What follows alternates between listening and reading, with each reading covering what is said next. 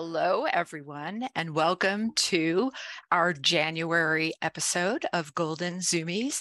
For those of you don't know me, I am Dr. Kelly Diehl. I am the Senior Director of Science Communications here at Morris Animal Foundation, and I've got a great group of speakers today. But before we go to our begin our presentations, I'm going to invite the lovely Amy Torres and Emily Evans to join me and go over, introduce themselves and go over a few ground rules.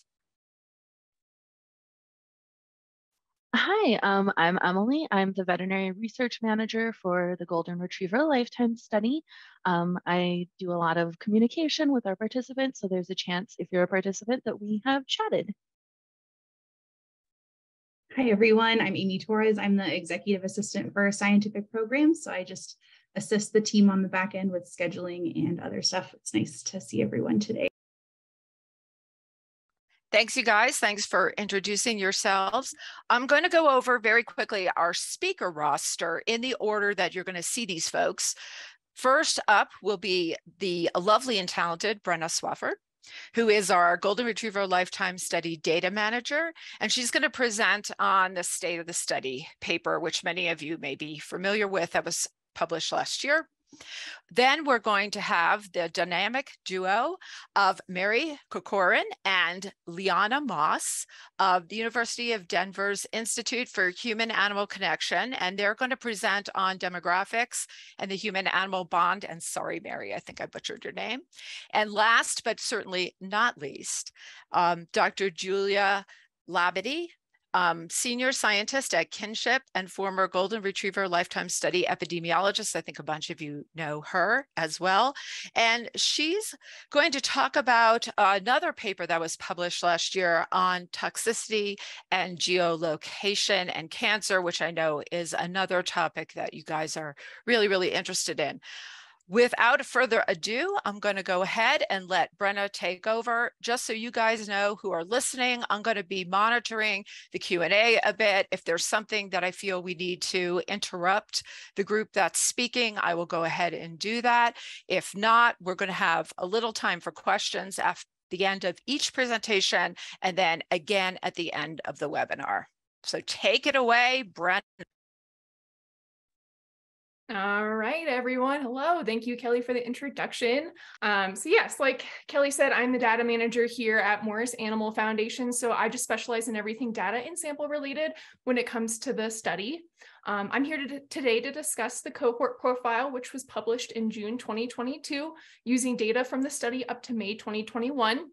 It was created to provide a description of the current state of the Golden Retriever Lifetime Study including its population, method of data collection, publications to date, and to outline the available data and samples to be used by the scientific community.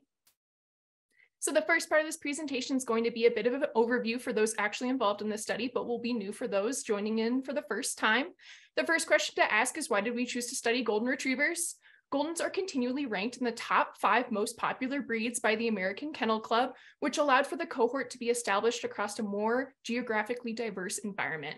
It is also widely known that they are happy, trainable dogs, making them perfect candidates for the complex annual ex exams that they have to endure. They are also highly prone to cancer. During a survey of 1,400 golden retrievers conducted by the Golden Retriever Club of America in 1998, it was found that cancer was the leading cause of death for 61% of the 420 dogs that died, with the most common cancers being hemangiosarcoma, lymphoma, high-grade mast cell tumors, and osteosarcoma. Also, having one specific dog breed helps to limit genetic variability and improves the ability to find breed-relevant wellness strategies. In a breed with such a high occurrence of cancer, this is crucial. So what is the Golden Retriever Lifetime Study? The aim of the study is to evaluate nutritional, environmental, lifestyle, reproductive, and genetic factors that for cancer and other common disorders found in Golden Retrievers. 3,044 Golden Retrievers were enrolled between 2012 and 2015, and we will continue to follow them throughout the duration of their lives. Based on studies such as the previously mentioned one performed by the Golden Retriever Club of America, hemangiosarcoma, lymphoma, high-grade mast cell tumors, and osteosarcoma are the primary outcomes of interest in this study, as they are frequently found in golden retrievers. But we are also interested in studying other common conditions such as hypothyroidism, hip dysplasia, and heart failure. There are three big categories of study components. These, uh, there's some that are collected annually, there's some that are collected when a malignancy is suspected, and the final after a dog dies. Annual compliance is contingent upon completion of two questionnaires and sample submission. The annual owner questionnaire collects information regarding the dog's lifestyle, physical activity, diet, at-home grooming, and a CBARQ, which is a previously validated behavior questionnaire, and much more. The annual veterinary visit is then completed and whole blood, serum, feces, urine, hair clippings, and toenail samples are collected. Half of these annual samples are shipped priority overnight to be frozen and stored at our biobank, while the other half are submitted for clinical pathology, including a complete blood count, serum biochemistry profile, fecal evaluation for ova and parasites, urinalysis, heartworm antigen test, and a thyroid hormone level. Results are both shared with the veterinarian and stored in our database for future use. Finally, the annual veterinary questionnaire is completed where information from the past 12 months is compiled, including medical history, physical exam findings, vaccination history, and prescriptions. The second study component is when a malignancy is suspected.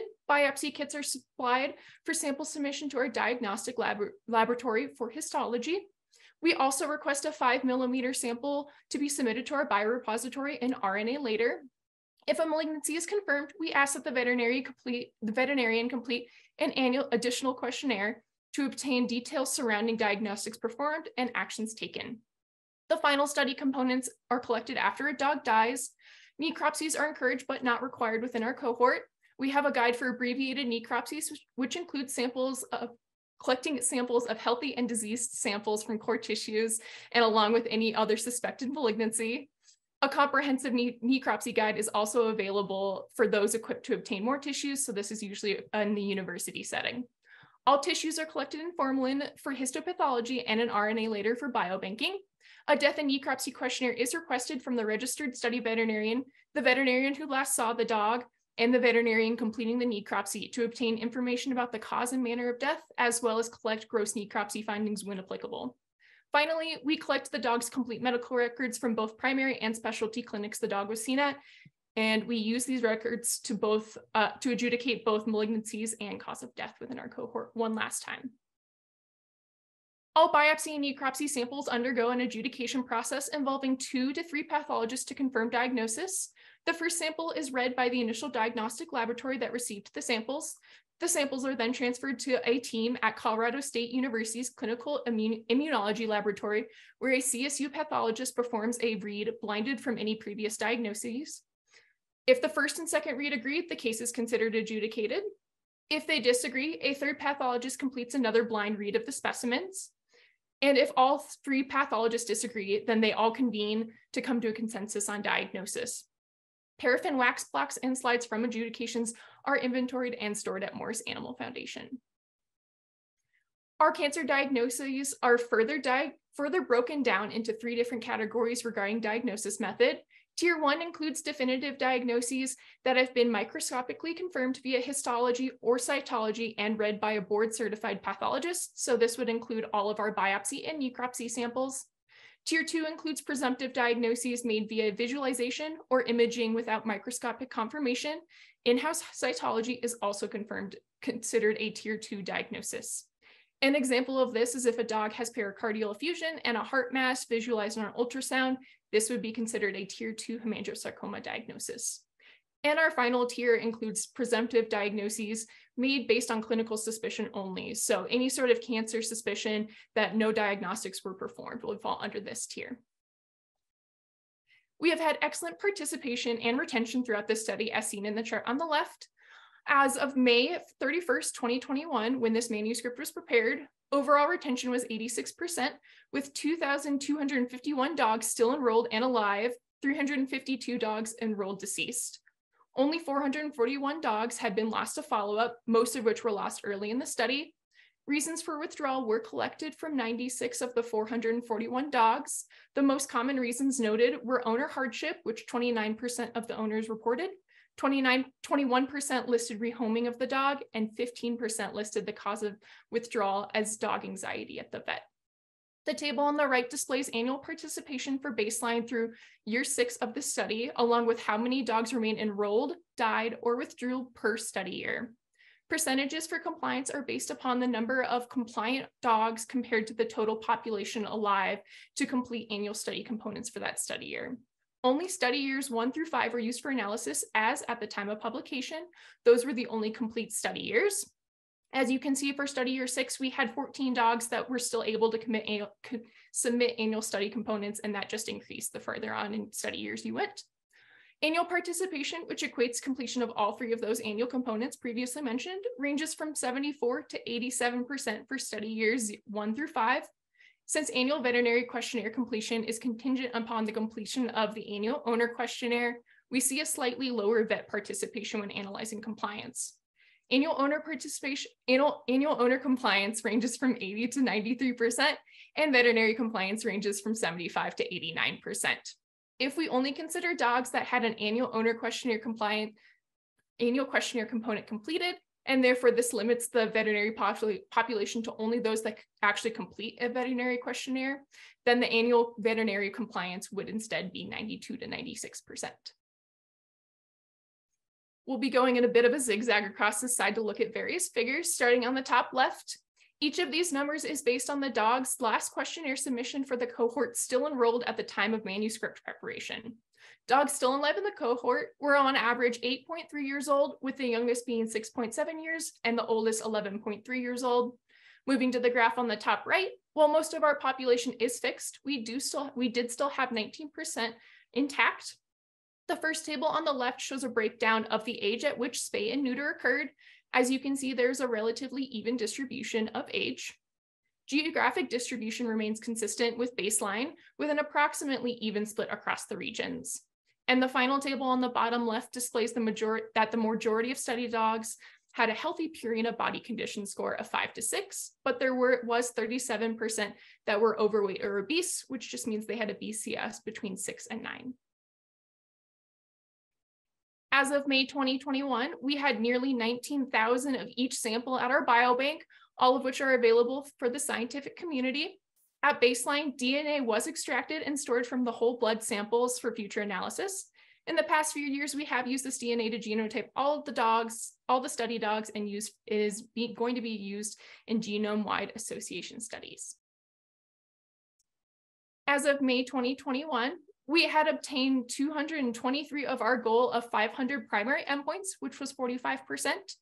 Hemangiosarcoma was our most common primary endpoint with 120 cases, 89 of which were tier one cases. And as a reminder, tier one just means that they were microscopically confirmed by a board certified pathologist. The second most common endpoint was lymphoma and leukemia with 85 cases, 77 of which were tier one cases. We've had fewer high-grade mast cell tumor and osteosarcoma cases than expected. We've only had 10 high-grade mast cell tumor cases, nine of which were tier one, and eight osteosarcoma cases, six of which were tier one. 68 of our lymphoma and leukemia dogs had been subtyped. 30 of these were found to be B, B cell subtypes and 32 of those T cell subtypes. This graph shows the cumulative incidence or how high of a risk there is for a dog of, to develop any of the primary endpoint cancers at each age throughout the study based on diagnoses made within our cohort. So the higher the cumulative incidence, the higher the risk there is for the dog to develop that cancer. Lymphoma and leukemia was the most common cancer in dogs less than six years old, with a steady incidence in the years that followed, as indicated by the dark blue line and its relatively gradual slope. In comparison, hemangiosarcoma incidence, as indicated by the red line, started low but steeply grew after age six, becoming the most common cancer at age eight. Incidence of high-grade mast cell tumor and osteosarcoma continue to remain relatively low, as previously mentioned. And then I just have a final overview of some manuscripts that have been published at the same time, around the same time or before this paper was published. The first looked at changes in annual lab work intervals in a population of healthy study participants and validated results in an independent sample of additional healthy participants. This study helped to identify vari the variability in testing and the importance of baseline laboratory data to assess individual variation. The second study explored factors associated with noncompliance after baseline. This study found that non-compliant owners were more likely to have unvaccinated dogs and dogs who slept in the garage versus the bedroom. This study may be useful for predicting compliance in future study cohort, future cohort studies. And future analysis will evaluate whether these factors are consistent with predictors for compliance at later times in the study or if this just applied to baseline study. The third study found that spaying or neutering at six months of age or younger was associated with an increased risk of orthopedic injury. In addition, spaying or neutering at any age has the increased risk of being overweight or obese. This study, along with other publications, have identified a need for breed-specific recommendations on the optimal age to spay or neuter. The fourth study found a significant negative correlation between genomic measurements of inbreeding and potential to reproduce in, five, in 100 female intact dogs. This study indicated that golden retrievers would benefit from limiting inbreeding and would be useful in future studies to explore other affected traits. And the two additional publications provided overviews of the study, including goals and study design prior to enrollment, along with baseline population characteristics. You will hear about more recent publications and the presenters after me, but if you're interested in more details regarding any of these publications here or any future publications, all are tracked on the Golden Retriever Lifetime Studies homepage on morrisanimalfoundations.org for you to look at. And that is all I have. Thank you so much for your time. Thanks, Brenna. That was really interesting. And I've been getting a couple of questions about where to find some of this information. And just to reiterate what Brenna said, the all of these publications are available on our website and have links to the publications so you can check on them yourselves.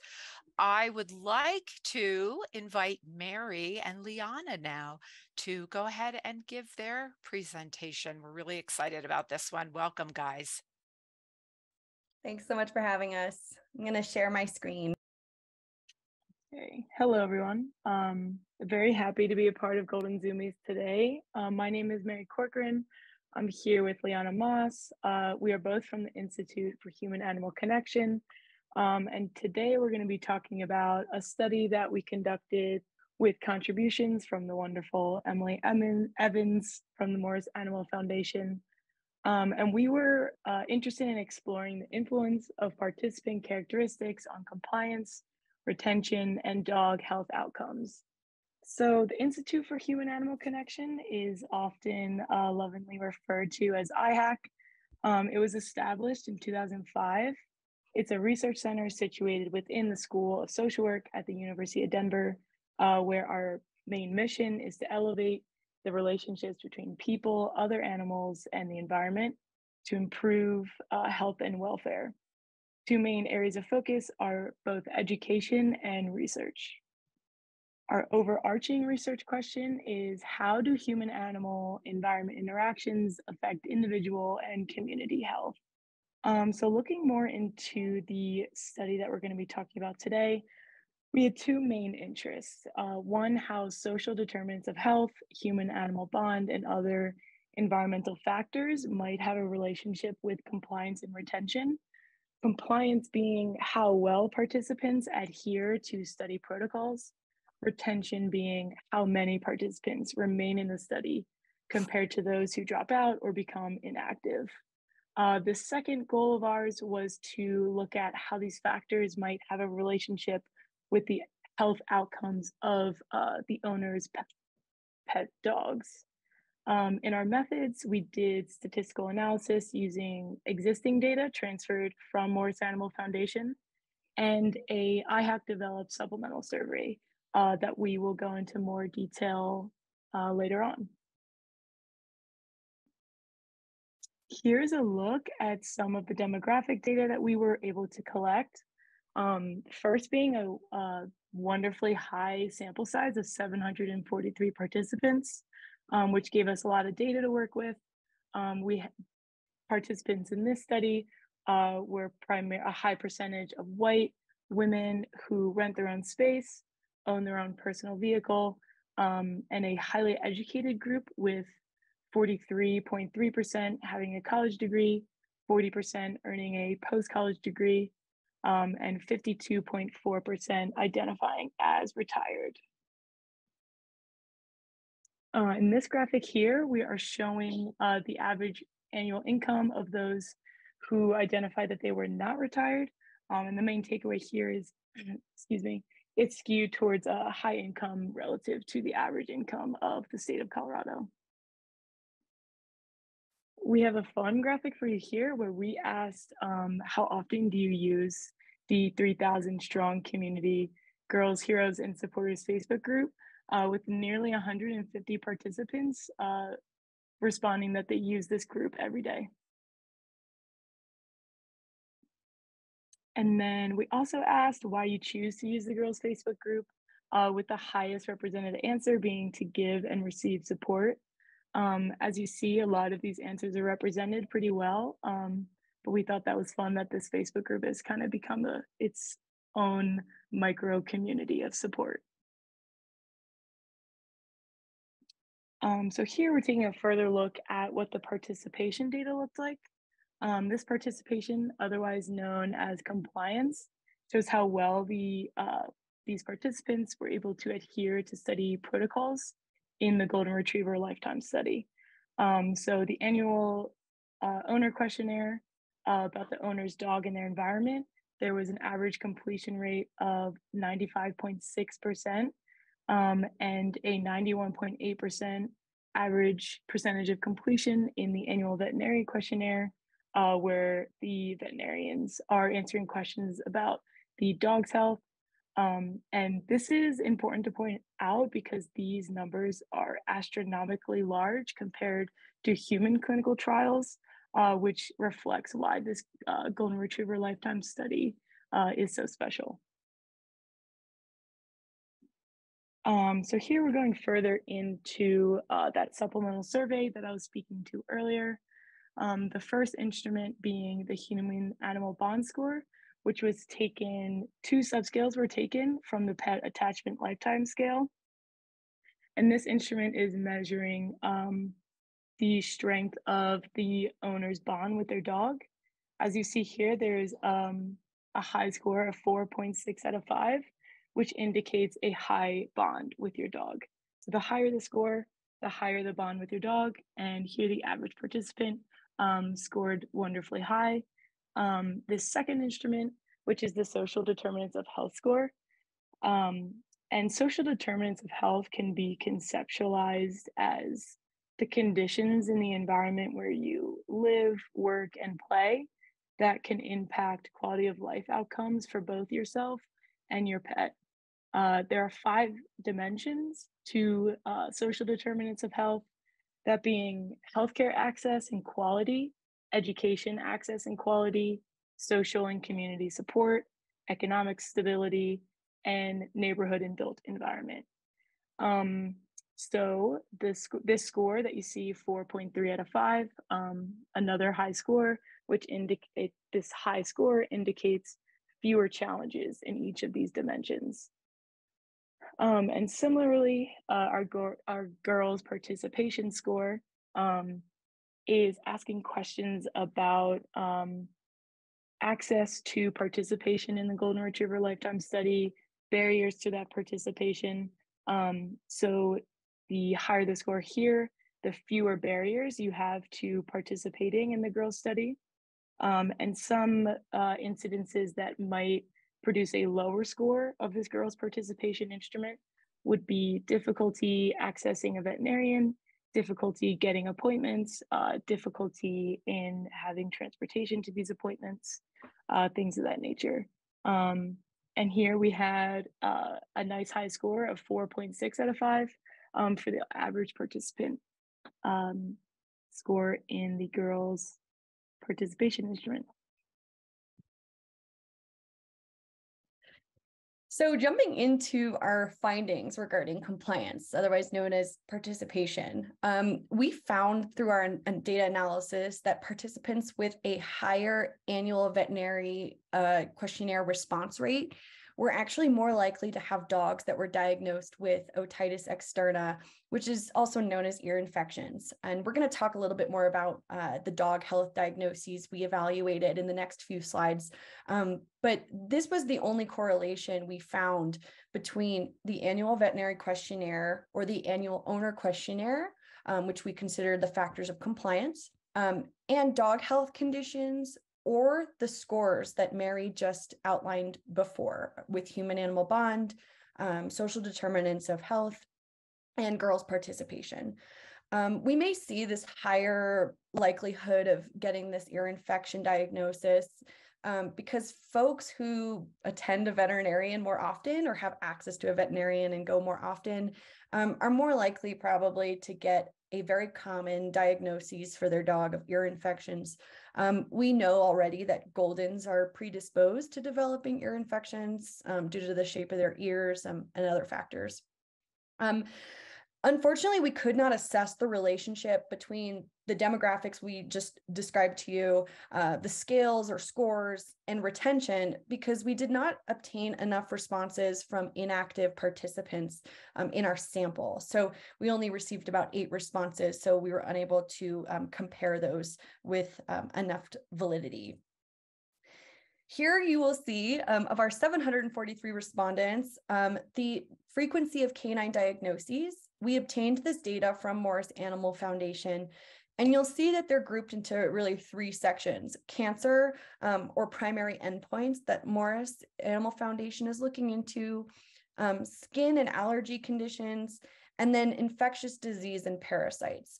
So you'll see um, otitis externa or ear infections has an extremely high rate of diagnosis, which again goes towards the this concept that ear infections are just really common in dogs and in golden retrievers in general. So our findings. These at the top, you'll see um, SDH or social determinants of health, um, and you'll see GRLS' participation scores. These are the, the scores that Mary just described previously we did see a, a relationship between higher social determinants of health scores um, and dogs being more likely to have ear infections and dermatitis.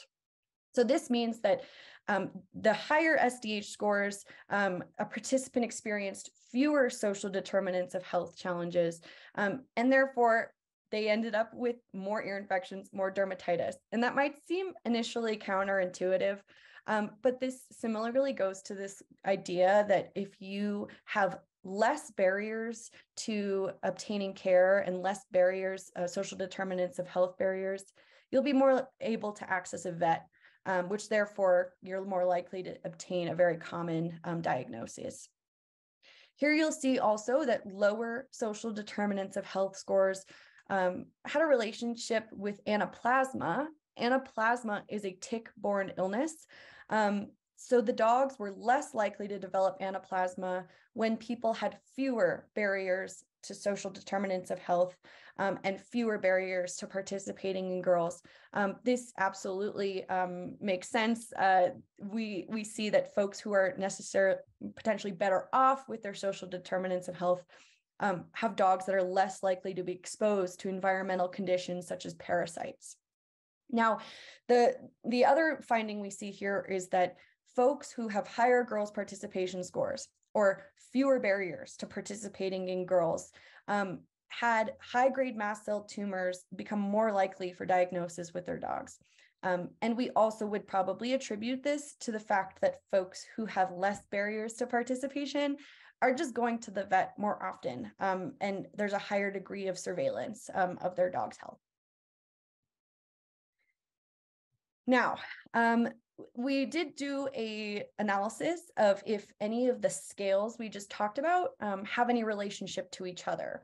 What we found were that that when you had higher social determinants of health scores, they were moderately related to higher human animal bond scores. Um, we believe here that the social determinants of health drive the human animal bond here um, versus the other way around.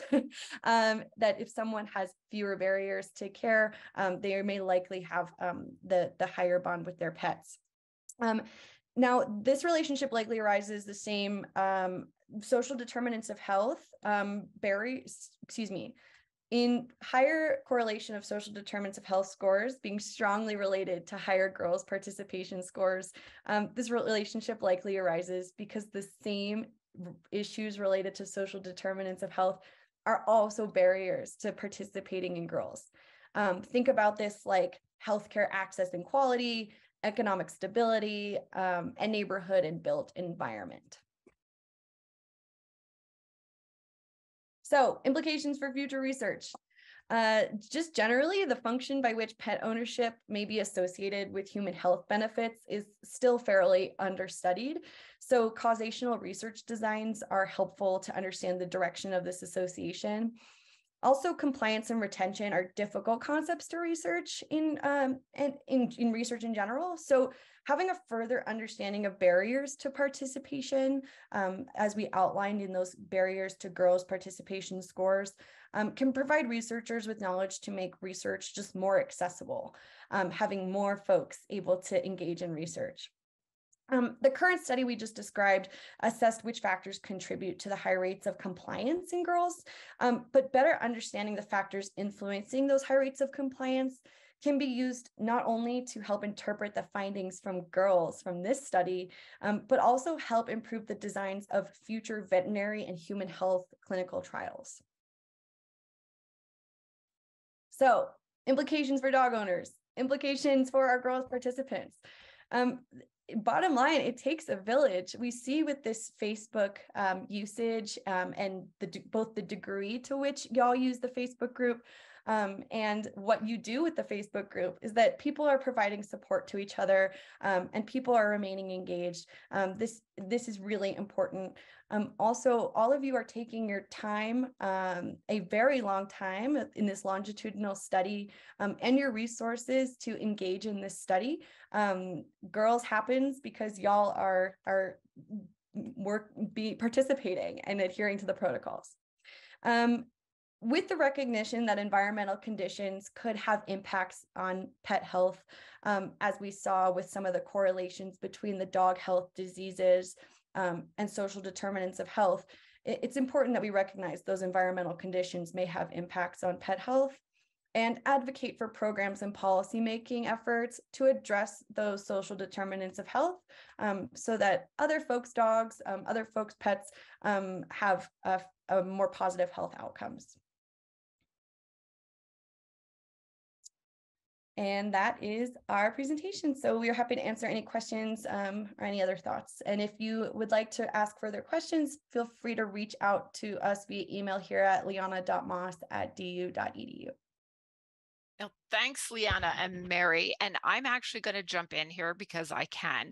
And I got a question that I'm going to see if you guys can answer. And then I personally have a question. so I'm going to really put you guys on the spot. First, from the gang out who's listening, someone asked Does the relationship between SDH score and GRLS' barrier not imply that health risks in the general golden retriever population are underreported? Mm. So, okay, let's see. Is this written anywhere? I'm so sorry. No, um, and I'm sorry okay. if I, um, uh, you can actually you can maybe see it, Liana, in the Q and A. Yep. Okay. So the question was essentially the correlation between the GRLS' barriers and the social determinants of health challenges. Um, does that not say that they're underreported disease conditions? Yep. Okay. Um, well, I think I understand the question, but whoever asked it, please clarify if if um, if we're not answering it fully. Um, you know, we see these these this correlation between the social determinants of health and the GRLS' barriers, um, primarily because they are ex- assessing the same issue, which is access to veterinary care, access to veterinary appointments, um, physical location, things like that. So yes, um, if you see that there are challenges in social determinants of health and GRLS barriers to GRLS participation, um, folks are unable to get to the vet, um, get veterinary care for their pet. Um, we we can say that there's probably that in the general population. Um, just the nature of of where we are. There's a lot of literature out there that access to veterinary care is a really, really um, highly important issue right now. Um, it's difficult for folks to access vet care and to afford veterinary care. So we could assume potentially that that lack of access to care means that some golden retriever or just general dog population, health conditions, diseases um, are being underreported because folks aren't getting to the vet. Okay, another quick question for you guys from someone, and I believe um, that you guys did not consider pet insurance in this, like whether people had it or not for this study, correct? We did not look at pet insurance for for this particular study. Okay. And I'm going to just say to the folks out there in answer to that, we are collecting that information, right? But not for this study. Okay. I'm going to ask my questions. As a clinician, when I'm looking at your reported like conditions associated, right, with SDH high or lower, one is uh, otitis and dermatitis are really common they often require repeated visits. They don't require any high level diagnostics. And I didn't know if that would influence your results. The flip side is anaplasma unless it's changed, I don't think it has, is an expensive test. Like it's usually uh, uh, on it's like a tick tick disease or blood panel, and so that would be maybe something people would not pay for if you didn't mm-hmm. have a mm-hmm. high degree of suspicion and mm-hmm. whether that might influence your results. Mm-hmm. Um, so sorry, could you reframe the first question? The, the first, first was the otitis because yeah. it's a co- condition that you often have to go back a couple times. I know people yeah. out there. I have a dog with otitis. I saw it in practice. Whether that could be influencing the results you're seeing, and then the flip is a very expensive disease. Could yes. that be reflected? Great question. Yeah, no, great question. So with all of these disease conditions, we recognize that, um, you know, for example, maybe uh, a chronic health condition on the annual veterinary questionnaire, it's going to come up more than once. It could come up three years that someone's involved in the study. Um, for the purpose of our study, we we aggregated those diagnoses into into one so if someone was diagnosed if a pet was diagnosed with ear infections three years in a row um, we counted that as as one versus three. So because we didn't want to skew those results um, acknowledging that some of these are chronic health conditions. Um, so and then in terms of the anaplasma um, that's a great question and it may have a factor in that is the t- cost of the diagnosis. Um, it's a similar um, logic we applied to the high grade mast cell tumor diagnoses is that the cost of a biopsy may be high um, if if not covered by the stipend for GRLS. Um, and therefore some folks may choose not to um, to to get a di- that diagnosis and that biopsy leading to folks with fewer barriers to care to have a higher incidence of that diagnosis. Okay well, that would fit maybe with that too, because that's an expensive test. So one mm. more question, and then I'm going to let Julia, we'll, we'll give you guys a break. Um, and you may have gone over this, but someone did ask, what determines the animal human bond score? Yeah, it's a great question. Mary, you want to take that? Sure. Um, so the human animal bond scored was uh, the one that we used in our survey was two subscales from the pet attachment lifetime scale and it was the one subscale being love, one subscale being negative impact. Um, and it's not a perfect scale because love and emotional attachment is a difficult thing to kind of standardize into an instrument.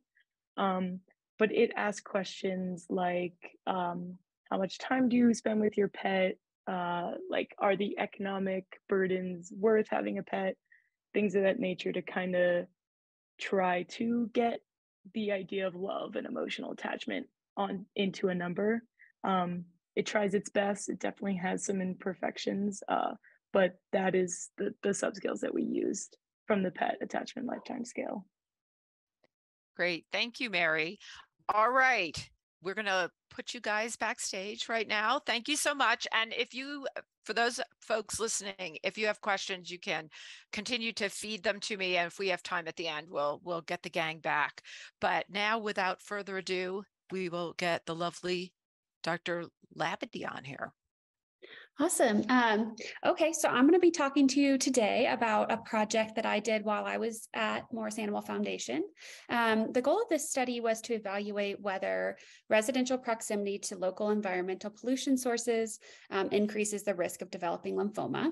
And this is my dog, Maggie, who's a big supporter of the Golden Retriever Lifetime Study. She's not in the study though. Um, and then next slide. So I did this work with three main collaborators. So Ross Litke uh, was a DVM student at the time, and he was doing a research externship um, using Golden Retriever lifetime study data. He has now moved on to an oncology residency, which is super exciting. So he's in Minnesota um, and has a couple years left with that. Uh, Lauren Trepanier, she's a faculty member at University of Wisconsin. She's been a big supporter of Morris Animal Foundation, has been on our review boards and has had many grants funded by Morris. Um, and I'll talk at the end about some work that she's still doing um, on golden retriever study data. Um, she was also Ross's PhD advisor while he was getting his PhD. And then lastly, um, Ashley Tyndall, who's also a PhD student um, at University of Wisconsin, working with Lauren, and also currently working on some more golden retriever study data. Um, next slide. So, despite how common lymphoma is, we still don't know a lot about what causes it. And therefore, we haven't really made a lot of progress in actually preventing it from occurring in the first place. So, we know that certain breeds seem to be at a higher risk of lymphoma, um, which suggests that genetics definitely play a role. Um, there's also some geographic differences, both in overall prevalence of lymphoma and in the distribution of subtypes throughout the US in the world, um, which suggests that there's environmental influences as well. Some studies have shown that certain chemical and environmental exposures are associated with lymphoma risk.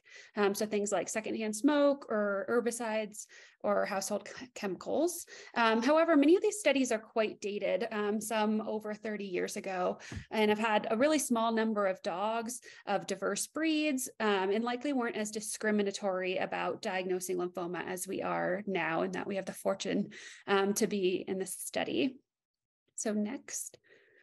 So the goal of our study was to evaluate whether um, specific environmental factors increase lymphoma risk. So the benefits of this study, um, as I'm sure you all know, are that we have one breed of dog, which limits some of the genetic influences for lymphoma. Um, and we also have well-defined exposures and cancer diagnoses, thanks to all the questionnaires um, that owners and vets have completed. So for each dog, we were able to calculate their household of longest residence leading up to their diagnosis. So we could take into account if they moved. Um, and we used that address to estimate their exposures. So for one source, we used publicly available data to pull average annual ozone and PM 2.5 levels for the county of re- residence. So PM 2.5 is particulate matter less than 2.5 microns. So basically, these are teeny tiny particles of air pollution that can travel deep down into your respiratory tract and cause damage. Um, we also used maps to determine the proximity to a whole slew of environmental pollution sources of interest. So things like um, municipal dumps, landfills, uh, manufacturing plants, coal plants, um, et cetera. And then we also used those lovely owner completed questionnaires to calculate whether dogs were exposed to secondhand smoke exposure. Um, next. So the study started two years ago. So this was back in January 2021. So we had far fewer lymphoma cases at that time. Um, so at that point, we had 49 cases of lymphoma that were confirmed via um, either histopathology or cytology. And we randomly selected um, two cancer free control dogs per case that were the same age and sex as that case. Um, so, uh, next. So cases at this time were on average just under six years old, which is again a factor of the timing of when we pulled this data. Um, we were pretty evenly split between males and females. Um, the majority of each of those groups were spayed or neutered, which makes sense um, with those ages. Our regional distribution was sort of similar to what we see overall in the study, so pretty similar to what Brenna showed in her State of the Study paper.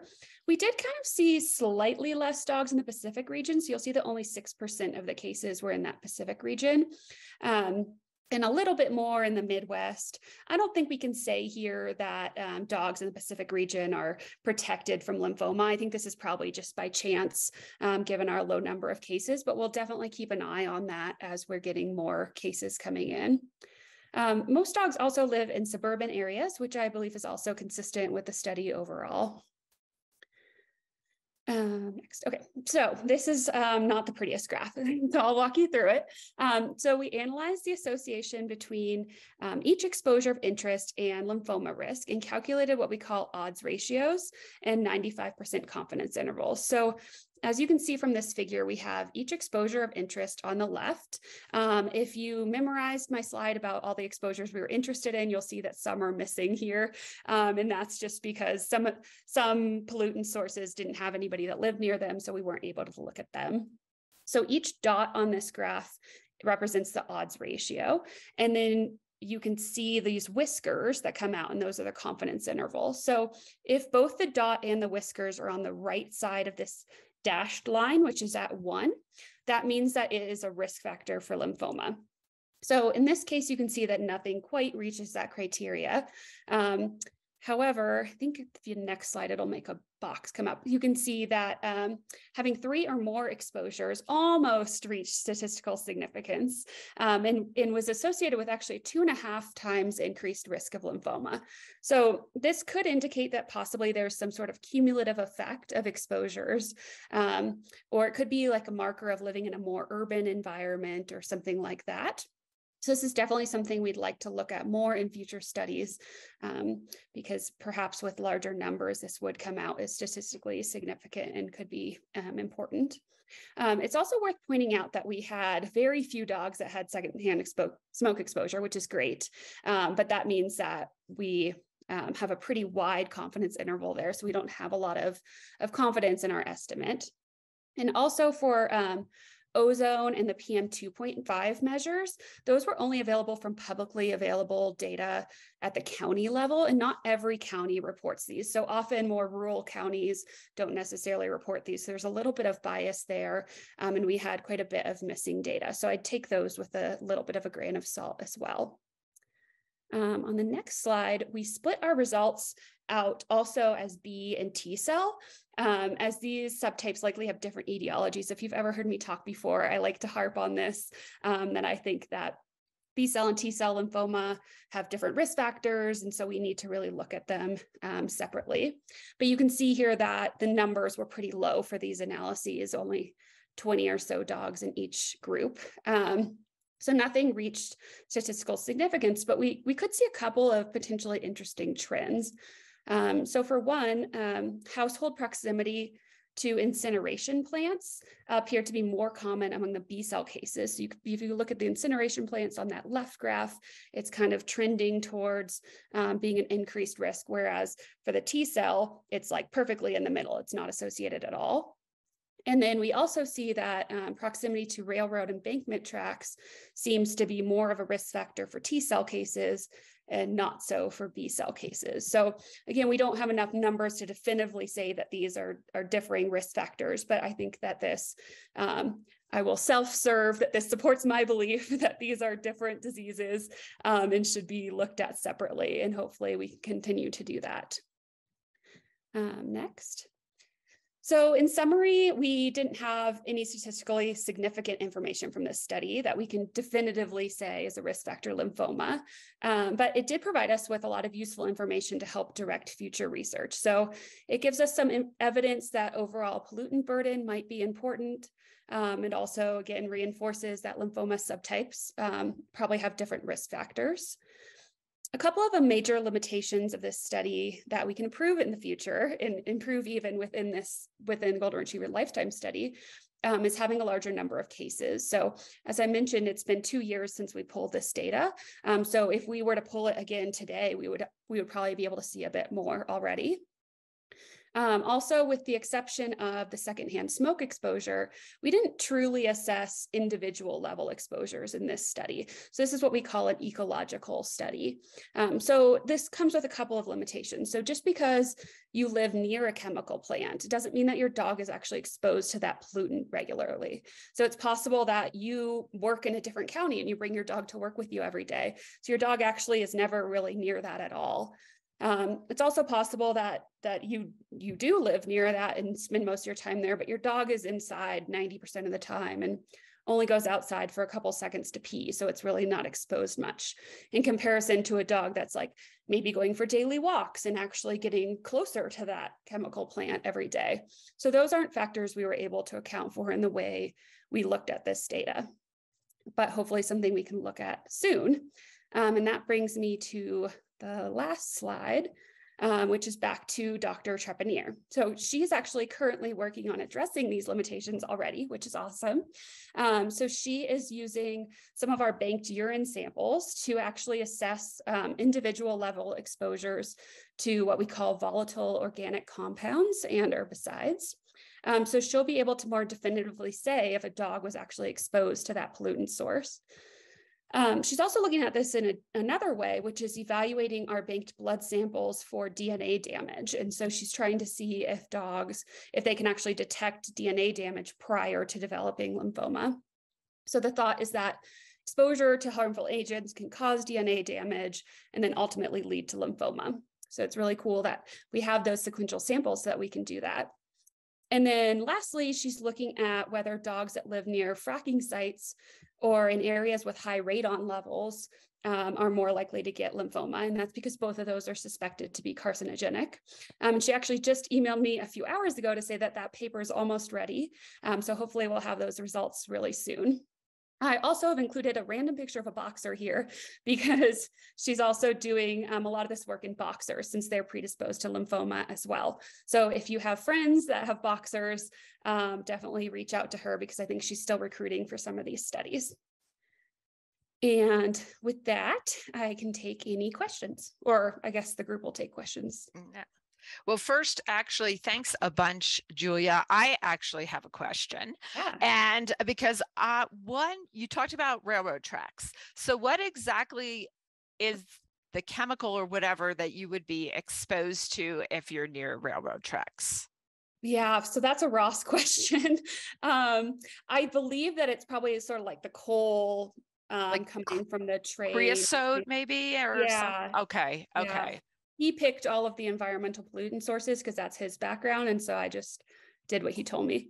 Yeah no i wasn't i wasn't yeah. sure about what they were looking for um and then uh, maybe you could quickly talk about lymphoma subtypes because you mentioned it and i think we think of lymphoma as a monolith disease like it's all the same but it's not. Can you can you talk about that?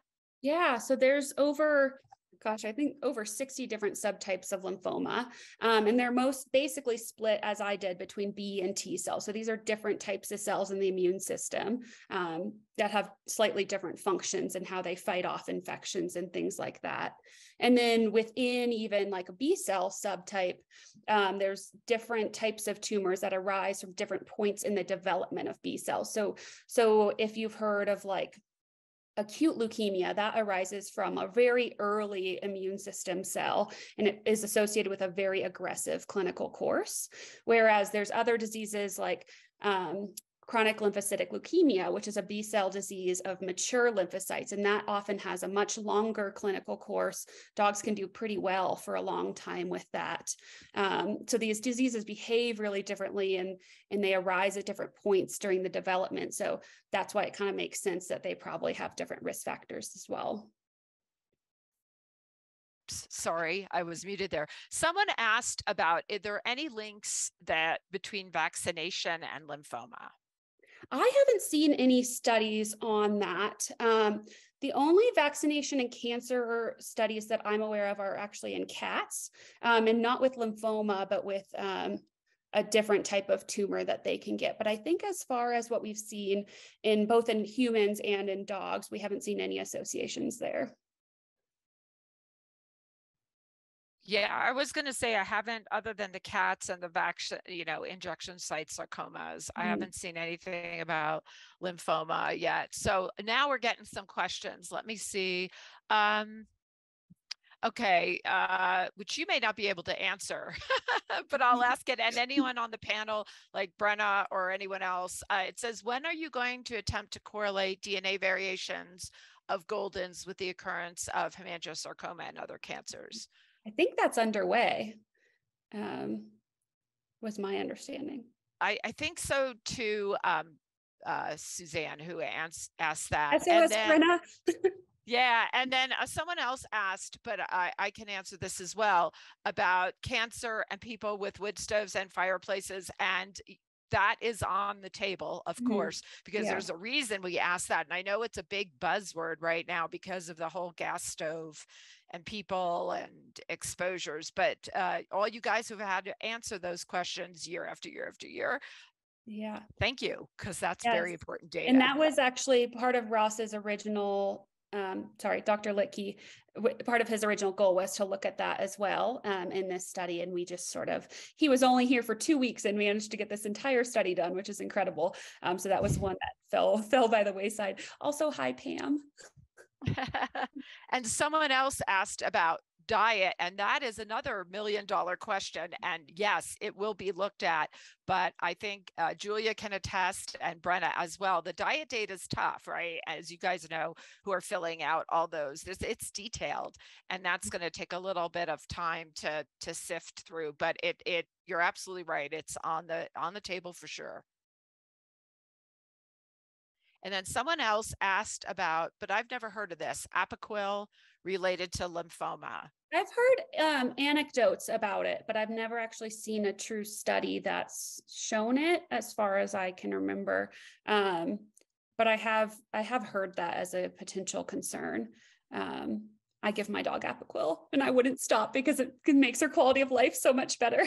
Mm, I know, I know that's going to be a good one. And I think uh, just for people who are asking, these are all great questions. And that is why we're looking at we're collecting all this data because it's also i think time of exposure like we don't always have a good sense of well is this one injection of apoquel or 10 injections of apoquel or zero injections of apoquel? You know we don't we don't know those answers yet but that's why it's great to capture this data especially prospectively. And now i'm going to do the shameless promotion portion of this pot um, this webinar because for all of you listening, the next few podcast episodes of Fresh Scoop, we have the hemangiosarcoma team from Minnesota was our January guests.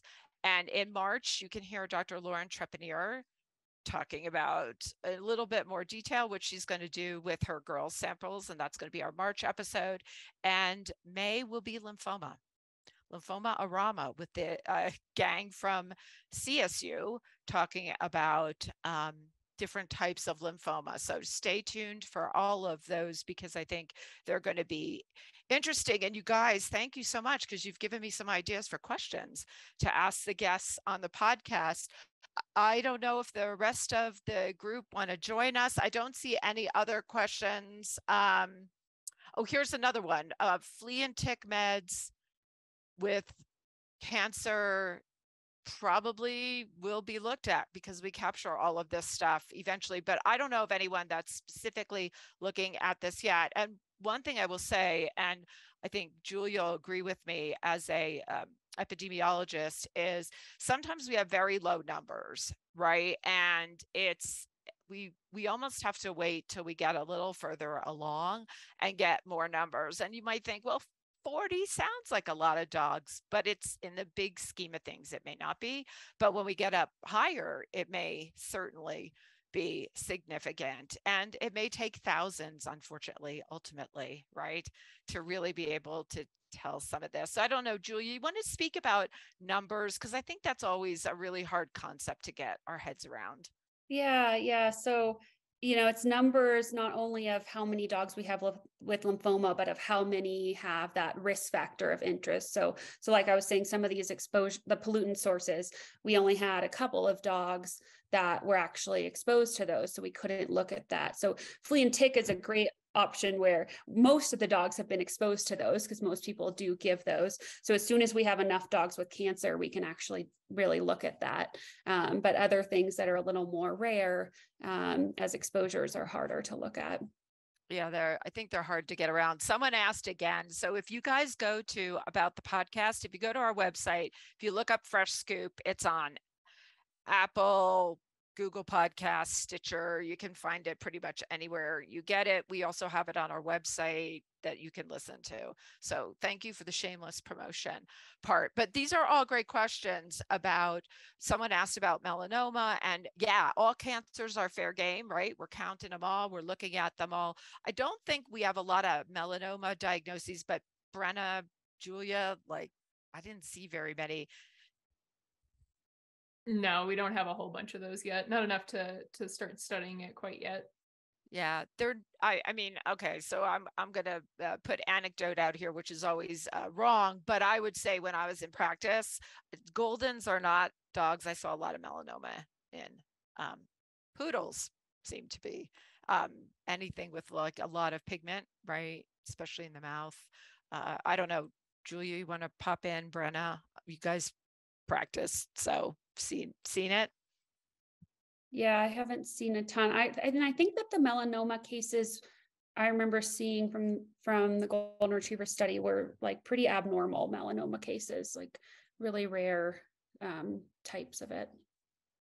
Okay, somebody else asked, and this is tough.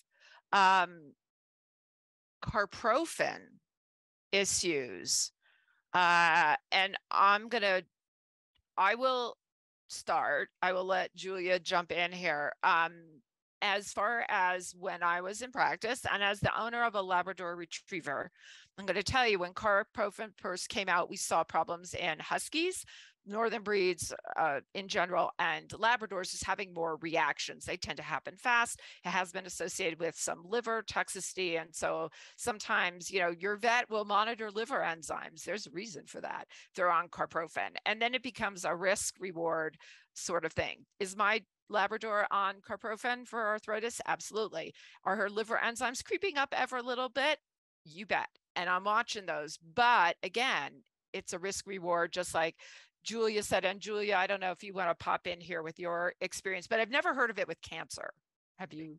Yeah, I haven't heard anything with cancer. I was going to say the same thing about Labradors. And actually, right before I popped on here, my sister was texting me that her older lab on carprofen's liver enzymes are starting to go up. So it's definitely um, a concern for the kind of longer term use. Um, but still, it's it's a, such a great medication for pain control for arthritis that often the the pros outweigh the cons. Yeah, you know, I I as an hopefully Julia would appreciate this as an epidemiologist. I think what a lot of sometimes when we're looking at health data, we are often balancing that risk reward, right? Um, and and we make have to make decisions based individually, personalized decisions for our pets, for us on what um, the risk might be for a certain drug or medication or treatment versus what is our reward. And we do it all the time, right? We balance those. And I think that's where epidemiology and these kind of studies really help us to make the best informed decisions, because that's really what we want to know, right? What is the best we can do? What are with the best information we have? So um, I don't know, do add to that? Yes, I don't know if my internet's cutting out. You just got wonky on me. Um, yeah, yep, definitely. And I think so often it's kind of a feel because we don't always have all that research um, and then the papers that we come from um, like this this most recent question you know sometimes we have a lot of papers with like smaller numbers and so each each of those is giving you like a piece of information and you kind of have to put it all together um, and and sort of decide what you think makes the most sense um, because we can't we can't get a definitive answer from one study ever um, even if it's giant it all everything has sort of um, some biases that can affect it. And so um, taking everything together from different sources and things give us the most complete picture. Okay. And the giant hook is coming in from Amy from the side to let me know that it is time. These have been great questions, everyone. And I'm so appreciative to our guests, Brenna, who doesn't like public speaking and did a great job. So well done, Brenna, Liana, and Mary. Thanks so much for joining us. Uh, Julia, as always, great to see you. And I uh, appreciate everyone who sent some such great questions. And we'll be back in a few months with another really exciting episode of Golden Zoomies. So thanks, everyone.